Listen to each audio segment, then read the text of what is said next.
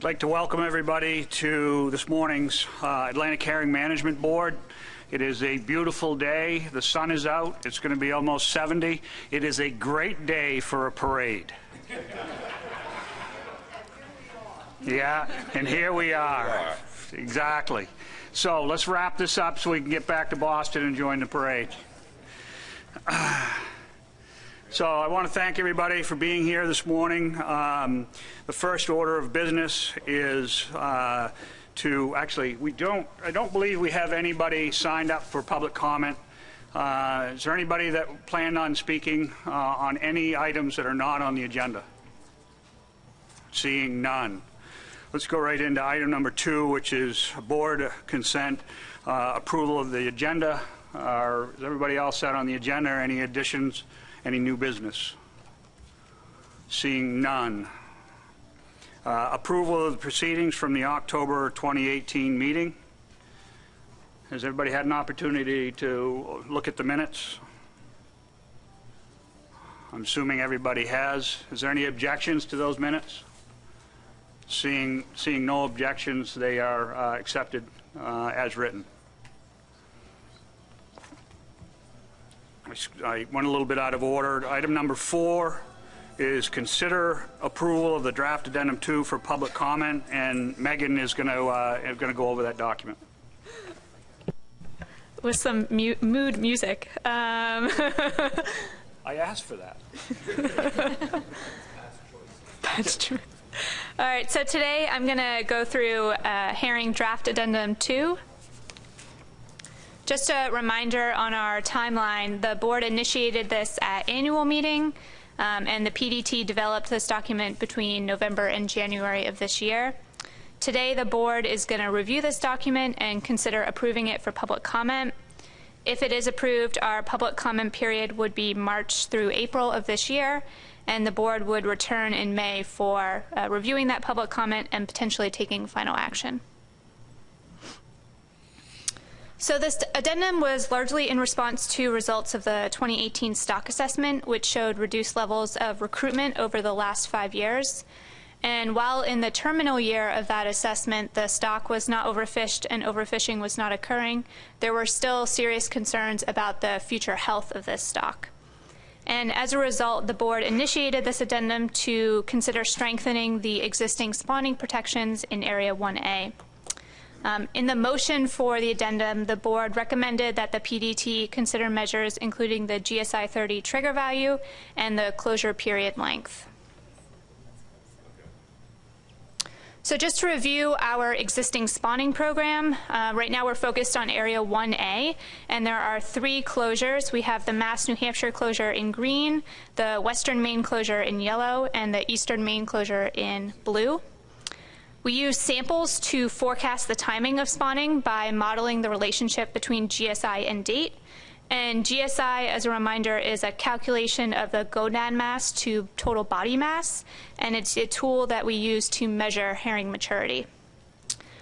The initiation of a spawning closure is determined by a trigger value, so that when GSI is projected to exceed the trigger value, a spawning closure is implemented. And if there are insufficient samples, we use default closure dates. Spawning closures last for four weeks, but they can be extended by two weeks if samples indicate a significant number of spawning herring. So before I get into a bit more details about the spawning program and TC analysis, I did want to preview the issues that are in this document. So there are three issues that this document considers. The first is the trigger value. So what is the trigger value that we use to initiate a closure? The second is the closure length. So how long do we close for? And the third is the reclosure protocol. So do we need to reclose? And if so, what is the threshold we use to determine when that happens? And I wanted to preview these issues for you because they are all connected. So depending on what trigger value you choose, that may influence how long you have to close for. And depending on how long you close for, that may determine whether you need to reclose and at what trigger. So kind of the overall message of this slide is it's important to think holistically about this addendum and the options in it when the board reviews the document. so talking a little more specifically about the trigger value, again, that is the value that we use to uh, see when GSI exceeds it and then implement a spawning closure. Generally, a higher trigger value closes the fishery later and closer to spawning, while a lower trigger value closes the fishery earlier to provide protection to maturing fish. Um, our current trigger value is 25, and TC analysis showed that that results in spawning closures that start within a few days of when the population reaches 25% spawning. And so the question that's prompted here is, is initiating a closure when 25% of the population is spawning still appropriate? Um, the TC did note that lowering the trigger value would reduce fishery spawning interactions, so you will see options in this document with lower trigger values. However, it's important to highlight that when we use a lower trigger value, we would implement a closure earlier, so you may need a longer closure period to provide protection throughout the spawning season. So again, this is getting at how these options are related. If you lower the trigger value, you really need a longer season. Um, also, lowering the trigger value and then having an earlier closure may shorten the time available to collect spawning samples. And then to talk a little bit about the closure length and our reclosure protocol. So I think the question here is, is the current four-week closure sufficient? And the, through the TC's analysis, they found that in the past three years, the Mass New Hampshire spawning season has lasted four weeks, 2.3 weeks, and 4.9 weeks. Um, but they noted that there was much greater confidence in the longer seasons due to a higher number of samples in those years. And so the TC concluded that that four-week closure would likely result in frequent use of a reclosure protocol. Um, they noted that longer initial closures would increase protection during spawning and could simplify the protocol by removing the need for a reclosure. So you'll see in this document there are options for longer spawning closures. Um, but it's also important to note that a longer closure may increase the chance of multiple areas being closed at once. All right, so now we'll go into the management issues and alternatives. So our first issue, again, is the trigger value. And we have four options here. Option A is going to be our status quo, so it's a trigger value of 25. And again, that is closing um, the fishery when approximately 25% of the population is spawning. And on the right, you can see the default closure dates that are associated with that trigger value. Option B, we are still using a trigger value of 25. So again, we're still going to close when approximately 25% of the population is spawning. But with additional years of data, the TC was able to update those default closure dates. And you'll see it's three days earlier for Western Maine and Massachusetts, New Hampshire. So the only change between A and B is the default closure dates. Option C is lowering the trigger value to 23. So that would close the fishery when approximately 20% of the population is spawning. And you can see by looking at the default closure dates, they are earlier than the ones that we have at the top of the screen. And then option D is a lower trigger value of 22. So that would close the fishery when approximately 15% of the population is spawning. And again, with the default closure dates, you can see they're earlier and earlier the further down you go on the slide. So issue two is the closure length. So how long are we going to close for? Option A is status quo, so a four-week initial closure. And then options B, C, and D are all extensions on that. So a five-week closure, a six-week closure, and an eight-week closure. And on a future slide, I'm going to show how the trigger values and the closure lengths are related. Um, but I did want to note for option D, that eight-week initial closure, the PDT included that because it may be long enough that we don't need a reclosure protocol for any of the trigger values in this document. And then number three is our reclosure protocol. So there are two options here. Option A is we keep a reclosure protocol such that the spawning closure can be extended for two additional weeks. And then option B is that there's no reclosure protocol. So we don't, uh, there's no option to reclose for two additional weeks. Under option A, there are sub-options, um, and that's related to the threshold at which we would reclose. And hopefully my coloring of the percentages is a reminder to two slides before. um, and that those percentages look familiar. So option A is status quo. So that is closing or defining our threshold as when 25% or more mature herring are found in that sample. Um, and that is related to the trigger value of 25. Sub-option two is a 20%. Um, so again, that threshold is at the 20% or more mature herring, and that's related to a trigger value of 23. And then sub-option three is 15% or more mature herring, and that's related to the trigger value of 22. So again, all of these options are related to one another, and they go back to what trigger value you choose. And then this is the final slide here. This is table two in the addendum. And if there's one table to look at, I really recommend that it's this one. So this one shows how the different management options are connected. So as an example, if we take a trigger value of 23, so that would close when approximately 20% of the population is spawning.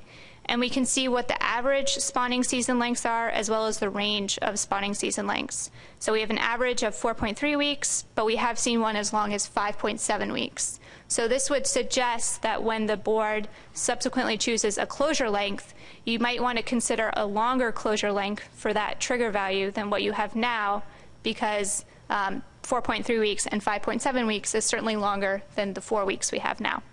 So hopefully that shows how all the options are connected. And I will take any questions. Ray Kane. Thank you, Mr. Chairman. Megan, can you go back to that slide on reclosures? My question is, are the vessels that are actually participating in the fishery landing, and those are the herring that are checked? They take a sample of 100 or 200 fish and check for spawn, or are the small boat vessels still doing the spawn check? You know, running out there and grabbing samples and dissecting right on board, or how is that done? Thank you. I'm going to pass that to Renee, who's our TC chair. So in the past, reclosure samples have come from a variety of places and a variety of fisheries. They have been fisheries related, but they also could be fisheries independent as far as the reclosure is concerned. Does that answer your question, Ray? It's been small boats and big boats. I mean, it's the whiting fishery has been a place where we've taken samples, spawning samples, when there's a closure in 1A um, to see if a reclosure is necessary. But we've also taken samples once the fisheries open back up off of the purse seiners, et cetera. Yes, thank you. Uh, I know in Megan's presentation, she talked that a couple of years they didn't really have enough samples. I think it was in that 2.3 to 5.9 range. So what is the minimum number of samples do we need? So for the initial reclosure, there's a three sample requirement to not use the default dates. So to project for the closure using GSI 30 protocol. And then for the reclosure, I believe it's just one sample is needed to trigger that reclosure. Thank you. Any additional questions for Megan? Seeing none. Um, We have before us the draft addendum with no additional uh, comments or questions for Megan. Is there any interest in modification uh, of the draft addendum or adding to the draft addendum? Seeing none, I think a motion would be in order if, uh, if the board is considering advancing this to public comment. Doug Grout. Thank you, Mr. Chairman. I would move to approve uh, this addendum for public comment today. We have a motion on the table, a second, second by Ray Kane. Any additional questions or- or comments, Doug, or the seconder? Mr. Pierce? Yeah, Mr. Chairman, uh, after we vote on the addendum, are you going to be entertaining a motion for a preferred alternative uh, to be brought to hearing, or would you uh, like that motion to be made prior to adopting the the addendum for a public comment? Um, I I think it's at the pleasure of the board, uh, Dr. Pierce. I have, I have no preference either way. Um, If, uh, if if you have some thoughts on that, I think we could probably take that up after the, uh, after we advance this. Any additional questions or comments? Seeing none, is there any objections? Seeing none, the motion carries without objection. Dr. Pierce, do you have a Yeah, I'll offer up a suggested preferred set of alternatives, and Megan can correct me if I'm uh, out of bounds or confusing the way in which these are laid out.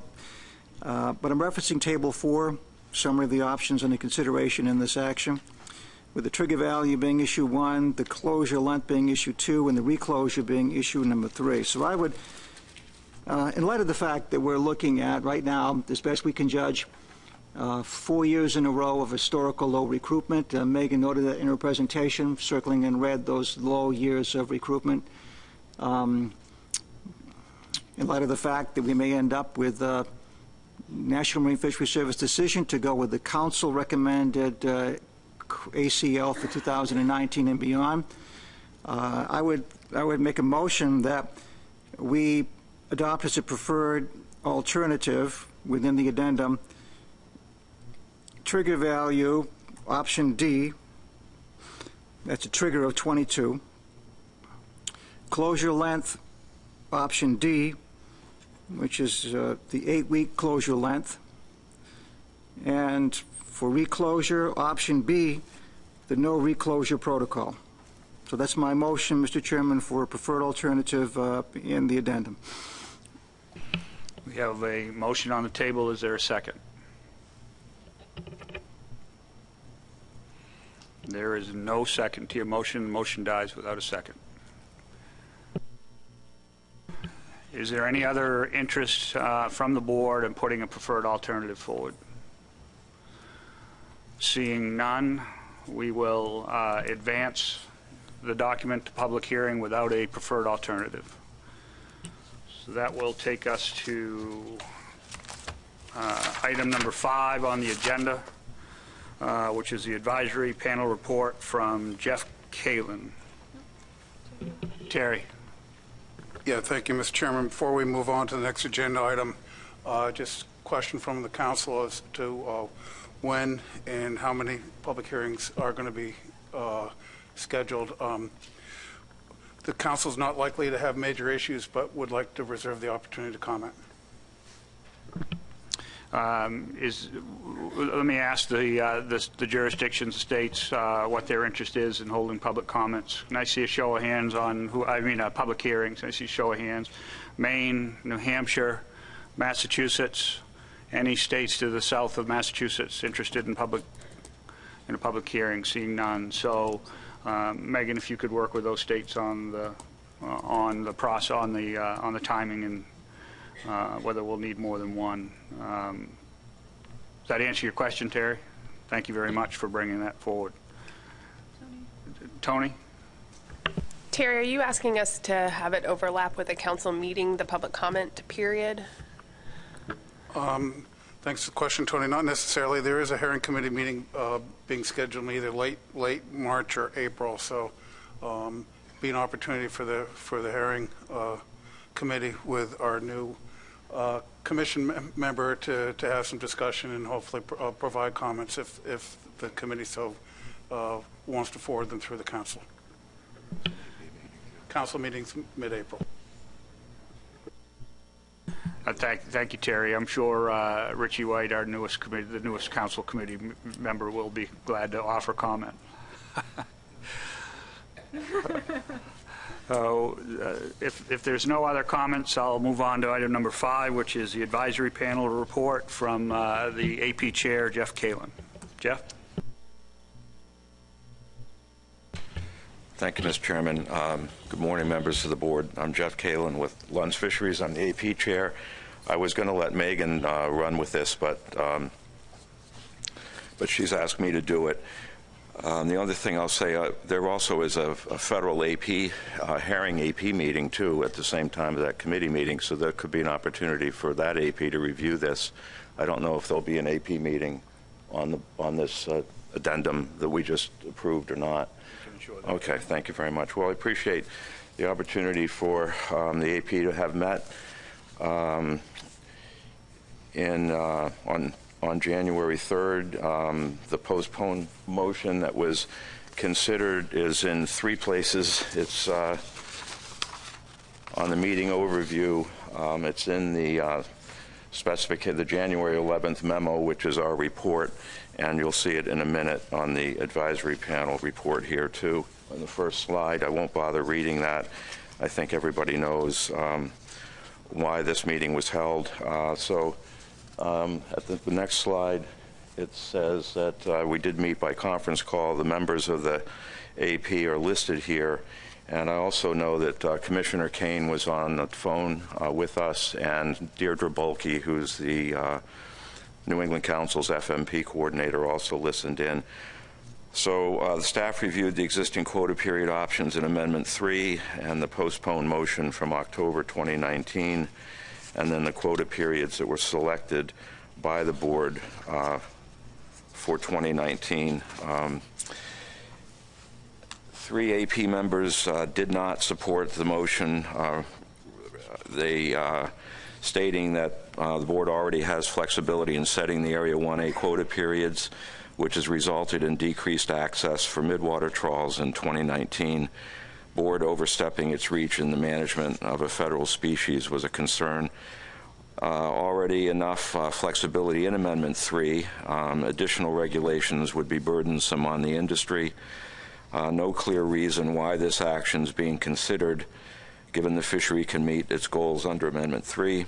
A new addendum would complicate management of the species, increasing the regulatory burden on the fishermen and ultimately decrease flexibility in the fishery.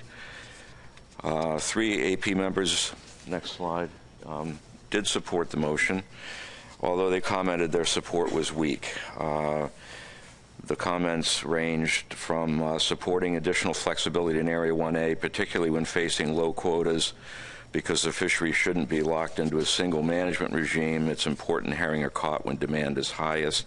Another comment that uh, they supported the concept of flexibility, but would like to see data on herring catches to understand impacts on the various gear types uh, during the period of the fishery. And uh, there was some support for the motion stating it'd be stronger if there was a clear explanation as to why the action's being considered, and uh, also looking for data to analyze relative to landings, um, data from multiple bait species. I think that AP member was beginning to consider the need for projections on menhaden productivity, given the fact that the herring productivity is going to be very low in the following years. So on the next slide, uh, one AP motion member wasn't in favor of additional regulations, but did recommend a quota period where 80% is allocated June to September and 20 between October and December.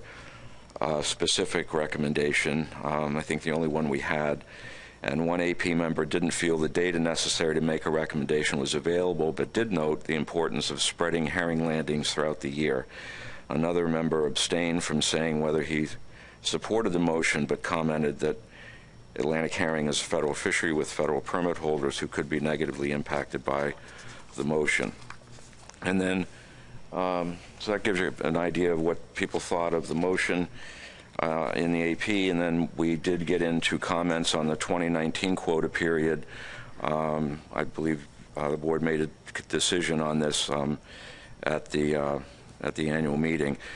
Several AP members expressed concern about that decision um, to use bi-monthly quota periods in the 2019 fishery and uh, concerned that the decision was made without landings data, so the impact of the changes wasn't evaluated. And there was a statement that um, members of the AP would have liked an opportunity for AP input. That, that's come and gone, obviously. Um, access to the fishery by midwater trawls was negatively impacted by that decision, and the Massachusetts lobster fleet, um, it was stated by an AP member, relies on bait caught by uh, the trawlers in the fall, so changes to the quota periods have broader impacts than may have been considered. Uh, under the bi-monthly approach, the fishery would could close uh, every other month, which could create chaos, and the uh, 18 and 19 quota periods are reflected uh, on the slide. And I think that is what we went through. Mr. Chairman, thanks to Megan for helping me put together the report, and I'm happy to answer any questions the board might have. Thank you, Jeff. I appreciate that. Very thorough report. Sounds like you guys had a great discussion. Is there any, uh, any questions for Mr. Kaelin? Um, We'll start off with Dr. Pierce. Yeah, Jeff, uh, right at the end of your presentation, you highlighted uh, one AP member commenting that the Massachusetts lobster fleet relies on bait caught by midwater trawlers in the fall months, so changes to the quota periods have broader impacts on other fisheries. Uh, At the meeting, was there any, um, any uh, discussion of herring being caught on George's Bank being adequate enough to account for what might not be available with a shifting quota in Area 1A seasonally? In other words, would that, would that offshore fishery for sea herring uh, meet, meet the needs of the mass lobster fleet, uh, assuming that was discussed at the advisory meeting? Thank you, Dr. Pierce. Well, I think the comment was really relative to the 1A, um, the splitting of the 1A quota. Didn't really get into whether the Georges fishery would be available to, to um, uh, provide bait uh, or not. Um, I think it's, I don't think anybody really understands what happened to the herring. Um, Maybe they're in Canada, that's where the Calanus went. I don't really know. So we're out looking, I know the fleet is out looking now in Area 2 and Area 3 uh, for fish. It's not a great time to go to th- Area 3, but you can sneak out there if the weather is good. And people are trying to, to look for herring and, and uh, mackerel right now. So who knows, David? Um, that didn't specifically come up, though. We didn't get into George's productivity in the AP meeting.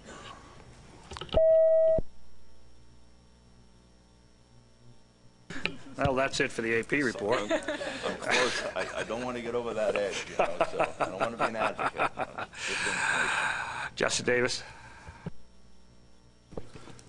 Thank you, Mr. Chair.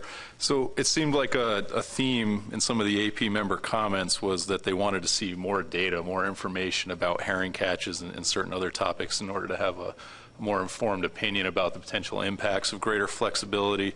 So my question is, if, if the board did decide today to take up the postponed motion and, approve it and initiate an addendum, would there be an opportunity for the PDT and the AP to have some back and forth and kind of, you know, so the, the PDT could get a little bit of information about what what types of uh, information the advisory panel members would like to see in the addendum document? Well, that's a great question, and I think if the board approved moving ahead with the motion and the addendum uh, and asked the PDT to do that, I'm sure that could be done. And, and I think the, the, the AP would probably appreciate that. It'd give you a little better idea of what the impacts are, are would be on the various fleets involved.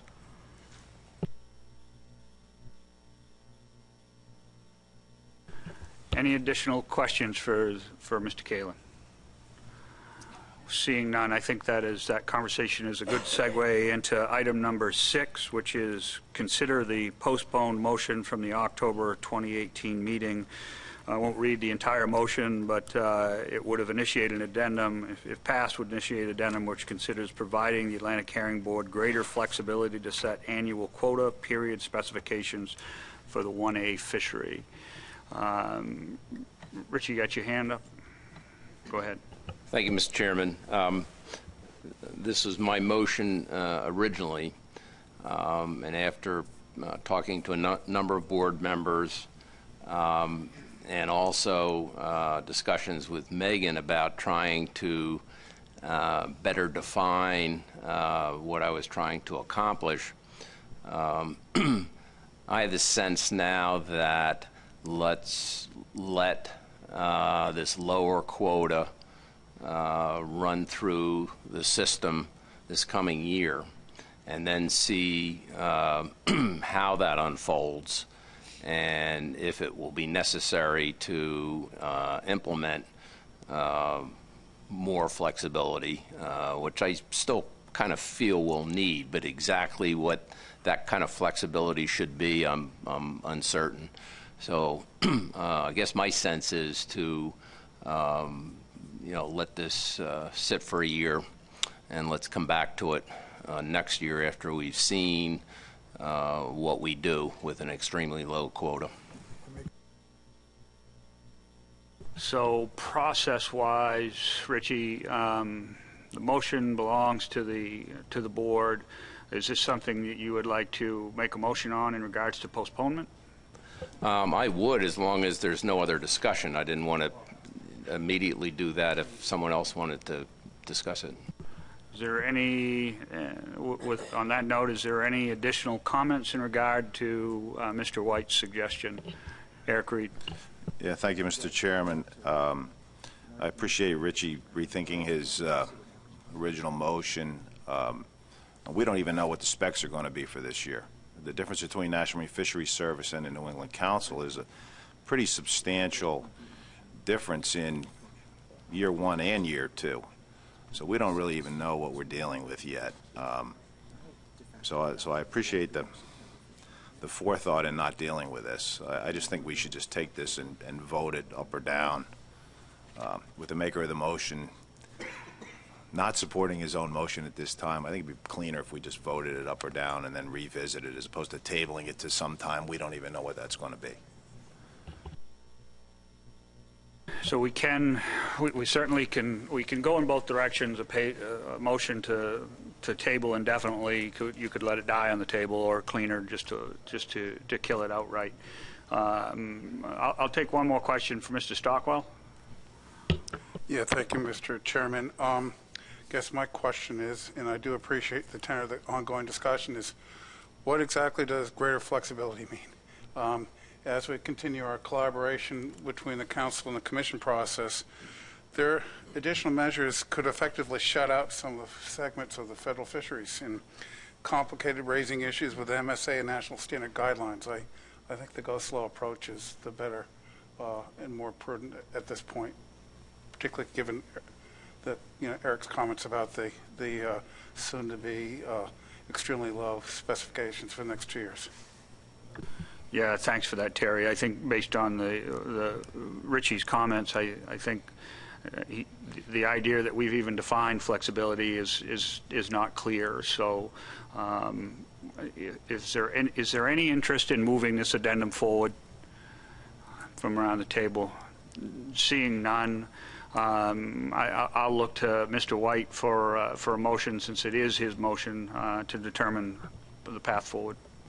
So um, is the correct motion to postpone indefinitely? Is that the table indefinitely? So that, that's what I will move on this motion. So we have a motion on the, uh, on the floor to table indefinitely.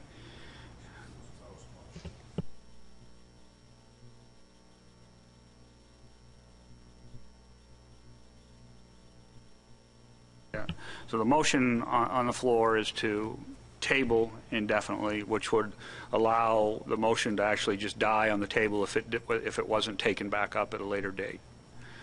Um, we have a second by Mr. Kane. Uh, So we have a motion on the floor uh, by Mr. White, seconded by Mr. Kane, which is moved to table indefinitely. We have any, uh, any questions or comments on the motion? Seeing none, is there any objection to the motion? Seeing none, the motion carries.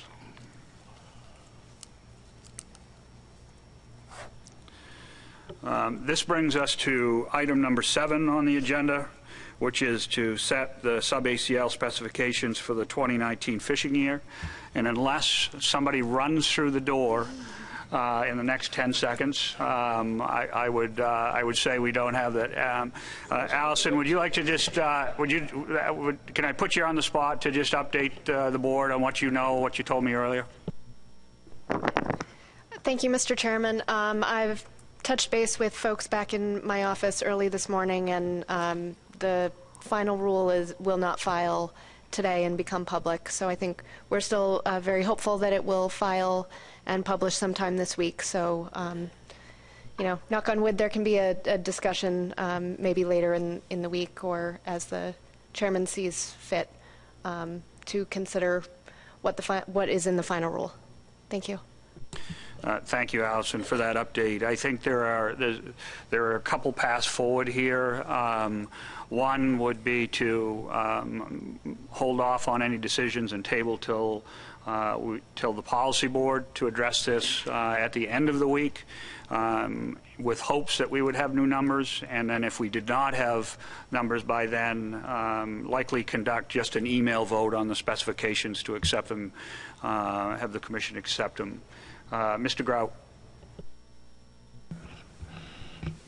Thank you, Mr. Chair. Um, I'd like to move to postpone final action on Atlantic herring specifications until the policy board on Thursday if NOAA Fisheries provides the final rule. We've Got a motion on the table, seconded by Mr. Train. Any additional comments from the maker? Um, She's typing that up.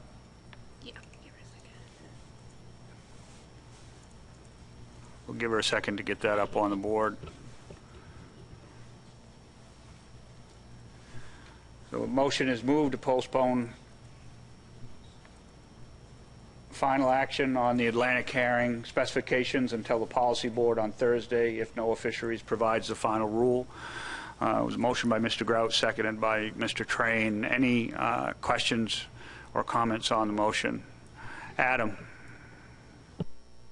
So just process-wise, I'm trying to understand, are we as a board essentially giving the policy board the authority to take action on this by virtue of this motion? And does that then say that for any spec setting to any board, that the policy board could supersede that decision moving forward? I'm just trying to understand what authority we're ceding to the policy board in this action. I'm not opposed to the concept of delaying a decision, understand the importance of the final rule, but I think it's, we should be clear what this board may be ceding. Uh, Thanks, thanks for that, Adam. I'll turn it over to the executive director to comment. Thank you, Mr. Chairman. Adam, that's a great question. And essentially, the short answer is yes. The, the herring board is, is, you know, delegating authority to the policy board to make the final uh, specs. But I, I don't, I, I think the precedence is something that makes me a little less concerned in that, you know, we're, we're, we're ended up in this spot because we had this lengthy federal shutdown and it, we sort of not operating under normal timelines and circumstances. So, you know, the, the specs would have been available for this board, you know, a number of weeks ago and everything would have worked out easily. But I think, I think it, we're, you know, this, this action is being considered because of the unique situation here. I don't, I don't think it will apply across the board for all other specifications down the road necessarily. Mr. Grout. Just a follow-up for clarification, this motion applies to one issue, this particular issue. It's not seceding our authority to the policy board for any other issues. It's just because of this unique situation that has happened due to the shutdown, we're, uh, I'm hoping that we can postpone and maybe uh, make our work more efficient by actually doing our work here as opposed to having to do it by a, uh, uh, uh, a email vote. Yeah, thank you for that, Doug. Um, Adam, does that satisfy your curiosity? Again, I think it's just important that we have clear on the record what we're doing here so we know what we can do on Thursday and what we might do on similar situations in the future. Thank you. Yeah, th- thanks for that, Adam. I, th- I think uh, the comments by Mr. Beal and Mr. Grout certainly make it clear that this is really a uh, unique situation caused by the federal shutdown. Um, and I'll hold additional comments in regard to the federal shutdown uh, until the hospitality suite uh, later this evening. Um, so um, with, with that, we have a motion on the board. Any other questions in regard to the motion? Seeing none, I'll read it into the record. Oh, Eric? Yeah, thank you, Mr. Chairman. Is this specific to 1A or is this for the whole fishery? It's, it's for the, the whole fishery, so it's the sub-ACLs for the different management areas. You know, only because it just, i- in the bullet points, it references 1A. It doesn't say anything about 2 and 3, so I just was, I appreciate that.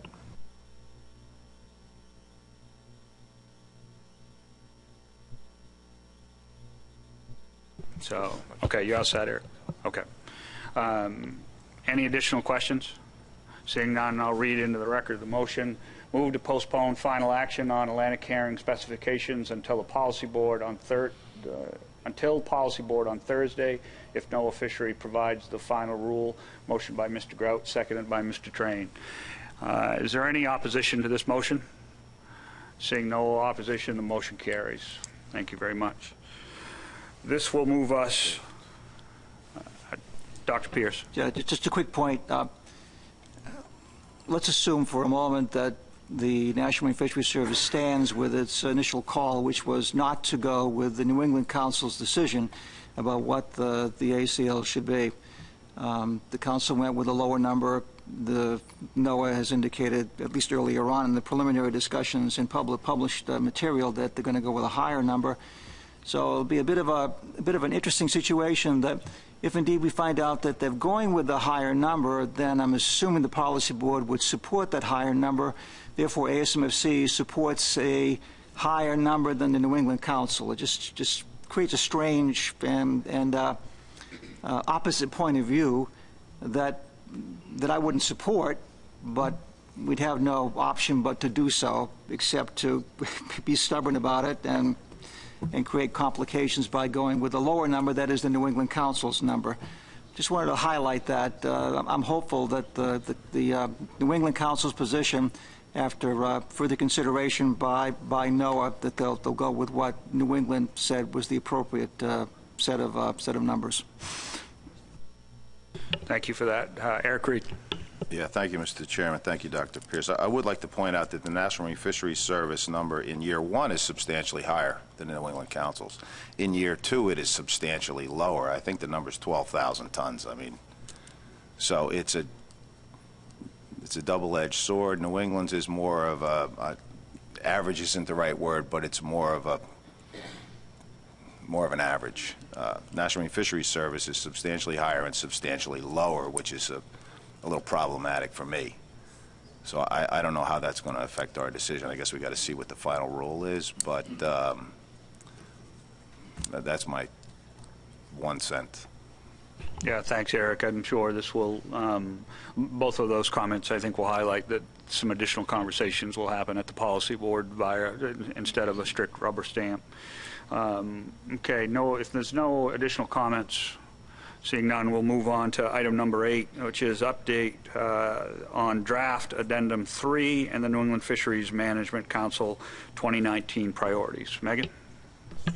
Thank you, Mr. Chairman. Um, so this is just an update and a reminder that at annual meeting, this board did initiate uh, Addendum 3, which is to consider spawning protections for Area 3. Um, and also at annual meeting, this board voted to send a letter to the New England Council asking that the council add spawning protections in Georges Bank to their 2019 priorities. Um, so, as an update to that letter, at their December meeting, the council did add a priority to consider spawning protect or spawning closures in Georges Bank for 2019. So that was added to their priority list. Um, and given this action, I think at a staff level, the hope is to work cooperatively to identify what data is available for this action and to explore potential paths forward to consider spawning protections in Georges Bank. Thanks for that quick update, Megan. Ritchie? Thank you, Mr. Chairman. Um, Megan and, and um, then possibly Terry, um, what is the best case scenario timeline by which the council could have uh, spawning protection in place? Um, I can't have a, I don't have an exact answer for you, but in talking with council staff, my impression is that their work on this would likely start, uh, or they're going to first focus on 2020, 2021 specifications and then work on this Georges Bank protection. So that is their plan for the year. Um, I don't have a date for when they would take a, an action on it or, or implement it. Follow up? Th- Thank you. Um, Then I guess a question for Terry would be, um, um, if the, if the council decides to go forward with an action, uh, how long might that take um, my concern being that we could have uh, substantial fishing on spawn fish for at least two years, and I'm not sure that um, um, is that that that kind of timing is uh, what we need to protect herring uh, at, at this point. Mr. Stockwell? Thank you, Mr. Chairman. It's, it's not if the council is going to proceed with this work plan, it's when. Um, As Megan uh, reported, the council did add this as a 2019 work priority, but uh, the council's uh, current plan is to focus on the 2020, 2021 specs first. You know, we'll- we'll, this, this body's about to vote on the 2019 specs. As most everyone knows, there's going to be another stock assessment in 2020, so we need, the council needs to put forward a second-year plan. Um, I, short answer to you is it depends, once we get the white papers, how complicated do- do the two bodies want to make this? If, if um, the commission and the council want to make it a very complicated s- spawning closure, it's, it's going to take longer. If, if the, the two bodies can agree upon something uh, sooner than later that's more simplified, um, I would project it would, uh, it would go out in latter part of 2020. Thank you, Terry. Um, Follow, additional follow-up, Mr. Chairman, if I- I may. Go ahead. Thank you, appreciate your uh, indulgence. Um, Yeah, this, this time schedule uh, really concerns me with the state uh, that we find ourselves with herring. And, you know, it may be that making or doing everything we can to have a good year class as soon as possible may make the difference to restoring this stock in a timely manner. I, am certainly not looking for this body to take things on that the council can do. We got plenty of work ahead of us, and I'm not looking for additional work. Um, on the other hand, we can act quickly and nimbly. And so I just throw out an idea. Would it make any sense uh, for us to try to implement something interim so that we're not we're not doing the council's work, but can we protect some spawning, some spawn herring in the interim faster while this work's being done? And I believe we have the ability to uh, protect spawn herring from a landing standpoint, not a fishing standpoint. Um, so does it make any sense for us to try to have something in place for uh, the 2020 season? Um, could even do it quickly for the end of 2019 season that would restrict uh, landing of spawn herring from Area 3. So I just kind of throw that out as a question and see what other people think. Thanks, Ritchie. Um, I, I understand where you're going with this, and I uh, certainly would like to hear um, comments from the board. Um, I, I would also say I think the protections in 19, 20, and 21 are going to be based on the incredibly low quotas that we'll be fishing on.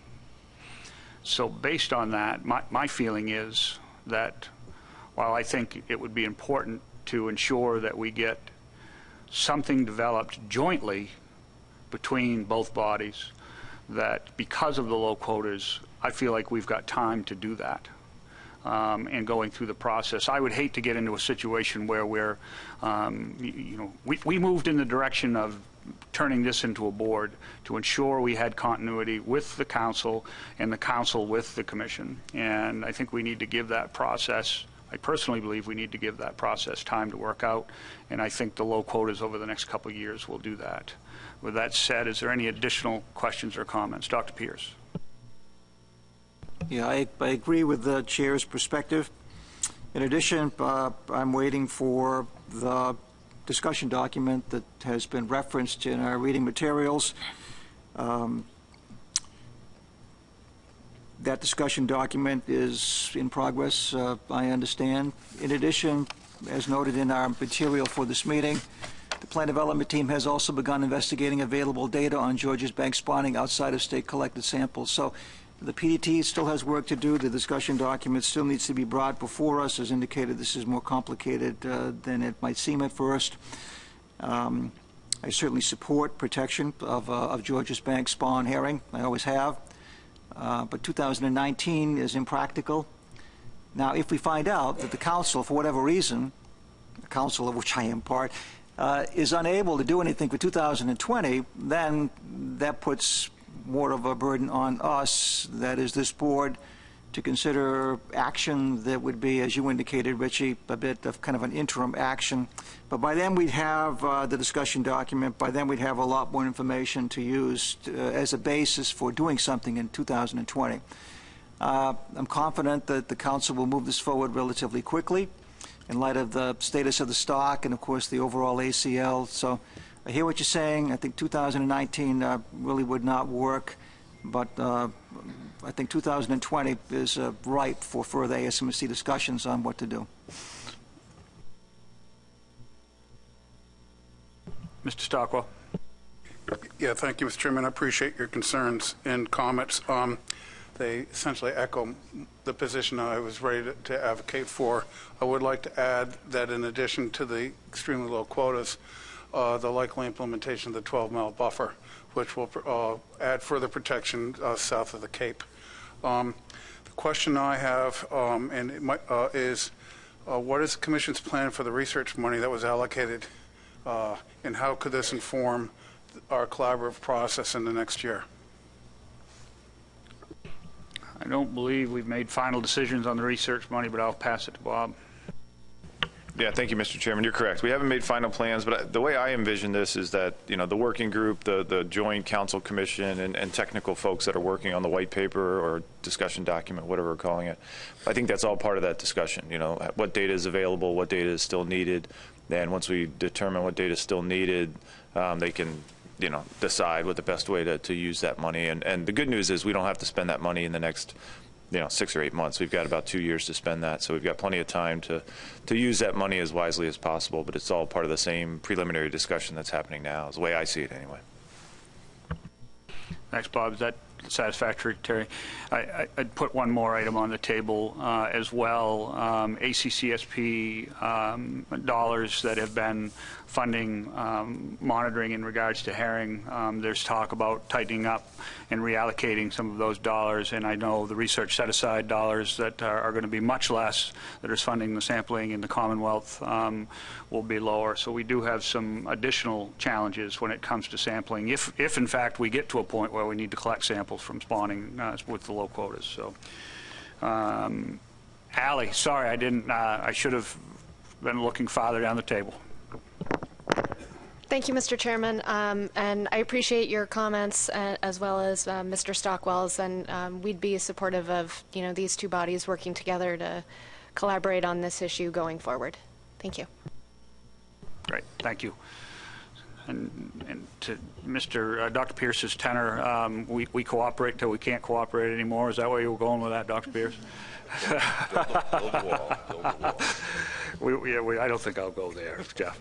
Um, So, uh, any additional comments on, uh, on this item?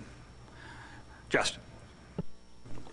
Thank you, Mr. Chair. Just a quick question. The discussion we're having here is about spawning closures on Georges Bank. Is that exclusive of the Nantucket Shoals spawning area? And if so, is it just because there's not enough available information to even think about spawning closures on Nantucket Shoals?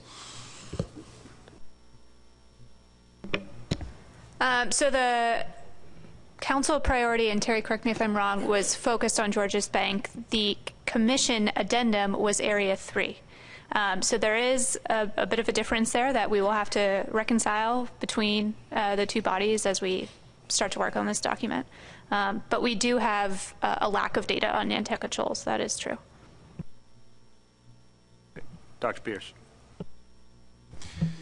Yeah, that's, uh, I hadn't thought about that. That's true. Um, but I suspect that when we get deeper into discussions about protection of spawning on Georges Bank, the link between Nantucket Shoals and Georges Bank will become quite obvious. As a matter of fact, the perspective, the scientific perspective, the U.S. perspective is that Georges Bank rebuilt after it had collapsed in the 1970s and the early 80s. It rebuilt because of spawning on Nantucket Shoals that seeded the Georges Bank area. That's the that's the prevailing scientific opinion. So there's a linkage there that um, that has to be respected, and I suspect that once our discussion document is uh, is completed, and once we have more discussions, you know, with uh, council staff, um, the connection will be obvious, and there'll be no other option but to pursue. Um, an approach that would deal with the fishing in the Nantucket Shoals area right adjacent to Georges Bank. I mean, they're, they're connected. Um, so that's, that's what I foresee. Thank you for that comment. Any additional comments? Seeing none. Um, That was our last agenda item. Uh, uh, One more call, though, for any additional business to be brought up to the, uh, to the herring board. Seeing none, seeing none, uh, uh, we- a motion would be in order to adjourn. I didn't hear one, but we've motion to adjourn is accepted. Thank you. Thanks, everybody.